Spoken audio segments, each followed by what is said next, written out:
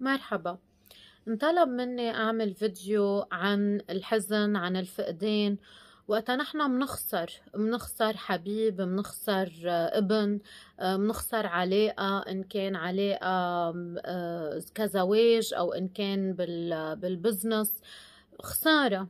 الخسارة صعبة كتير والخسارة بتترك أثر على مستوى العقل الباطني الجهاز العصبي ومن هون بصير في عنا نحن التهابات بتوطى مناعتنا بصير في عنا مرض السكري مثلا آه، ضغط عالي. فنحن كتير مهم نعرف إنه آه، في مسارات مختلفة الاشخاص بتتبعها وقتها بصير في عندها آه، حزن بحياتها.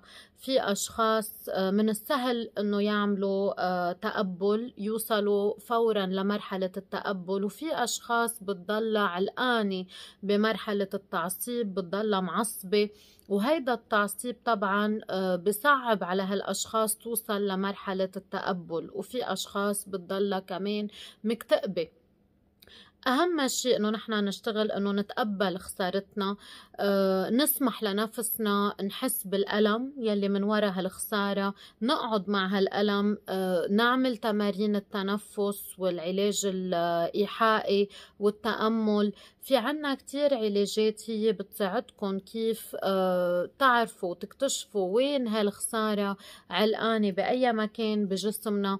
ونحن أكيد كل إنسان بيستاهل آه، يقدر آه، يعمل علاقات جديدة يتكيف مع الواقع الجديد تبعه يلي ما بقى في آه، الشخص يلي نحن منحبه أو العلاقة يلي نحن خسرناها. فكل ما نحن نشتغل أنه نتقبل الواقع تبعنا كل ما نحن بنكون عم نحمي حالنا من أمراض كمان الاكتئاب القلق توتر ما بعد الصدمة وغيرها من الأمراض النفسية. بتمنى هيدا الفيديو يكون أكيد ساعدكم وإن شاء الله شو ما بتعوزوا آه، كإرشادات نحن موجودين بالمركز للمساعدة. شكراً.